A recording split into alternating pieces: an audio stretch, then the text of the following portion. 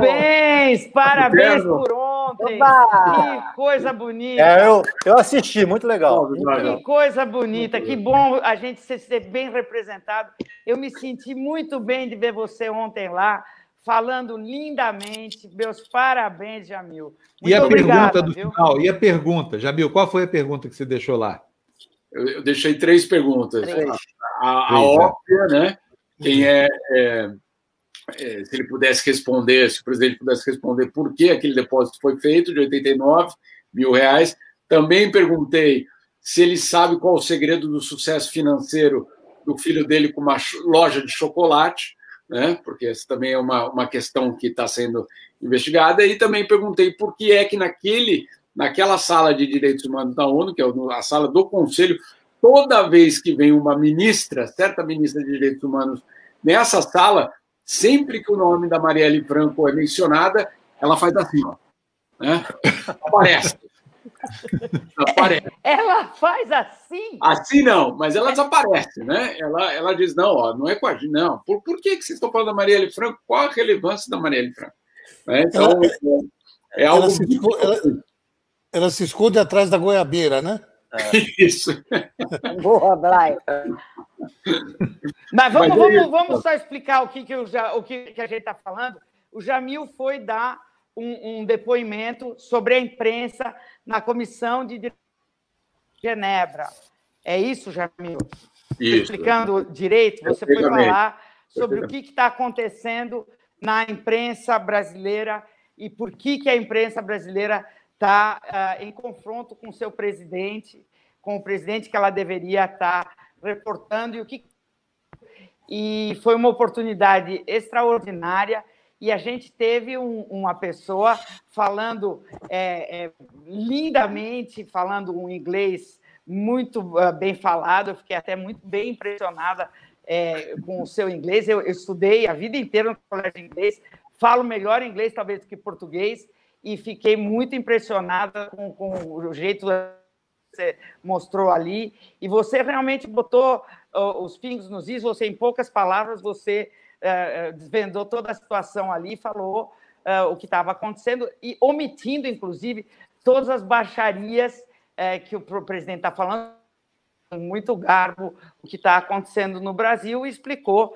que o presidente usa isso como uma técnica e que ele, uh, ele ofende sistematicamente a imprensa, insulta a imprensa como maneira de, de, de, de, de se, de se defender e de uh, promover a política dele. É, eu, eu Bárbara, só para completar o que aconteceu depois, porque aquilo ali foi só um trechinho.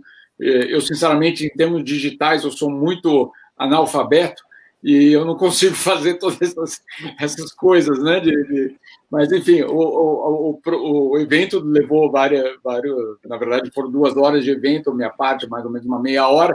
É, mas o que foi curioso é que o Brasil pediu direito de resposta, a delegação brasileira pediu direito de resposta.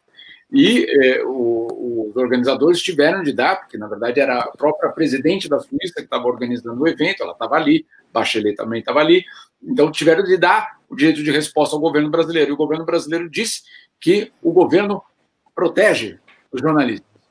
Entendeu? É, que, ah, que, protege, que... protege. O Alain. Isso. Não, protege mesmo, protege, protege o jornalista da notícia, deixa, impede, inclusive, o jornalista é. de ter acesso à notícia, como a gente viu lá no Rio. É, que tem um compromisso, existe um compromisso no Brasil de proteger, de proteger a liberdade de, de expressão e de proteger principalmente o trabalho dos jornalistas. É, e, e, aí, claro, o mediador foi até curioso, porque o mediador é, falou, me falou baixinho, né? Se você quiser concluir a conferência com uma resposta ao Brasil, está autorizado. Falei, ótimo. Né? Então, ao, final, eles me passaram a palavra de volta e eu só disse o seguinte: é, eu que estava muito feliz de escutar tudo aquilo ali da delegação brasileira, agora só falta cumprir né? E, e, que eles cumpram o que eles acabaram de dizer, que a gente vai cobrar essa suposta proteção, que a gente sabe que é uma, uma palhaçada. Para vocês terem uma ideia, logo antes falou o governo da China, disse que na China não existe censura contra jornalistas.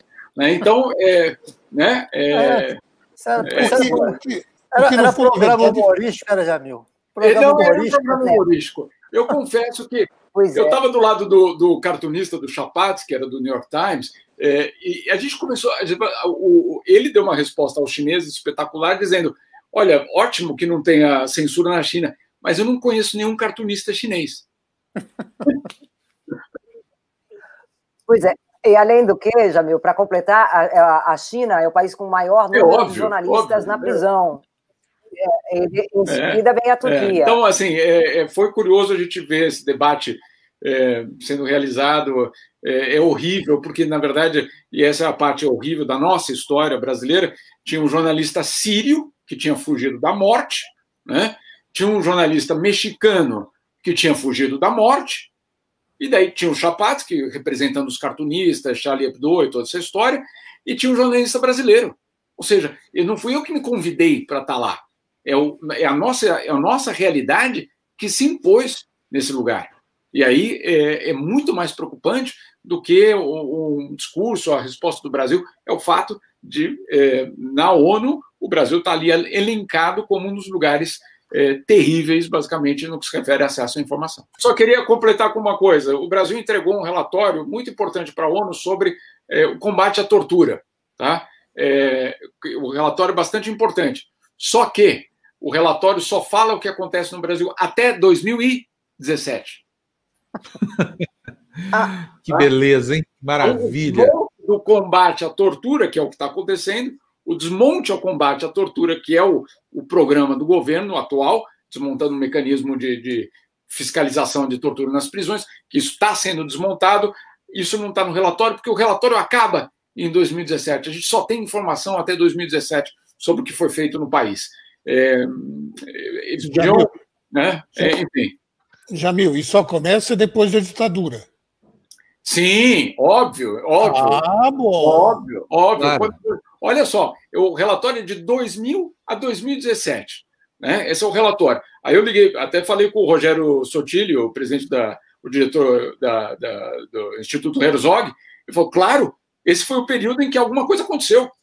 Né? Esse foi um período que, de fato, houve o estabelecimento de leis, o estabelecimento de mecanismos, que, claro, faltava muito, faltava décadas para resolver o problema, não anos, faltava décadas, mas agora está sendo desmontado. E no relatório que o Brasil apresentou para a ONU, ah, essa parte não existe. Né? Então, falando de, falando de fake news, tem fake, é, tem informe fake agora. Vamos colocar assim. Ah. Jamil.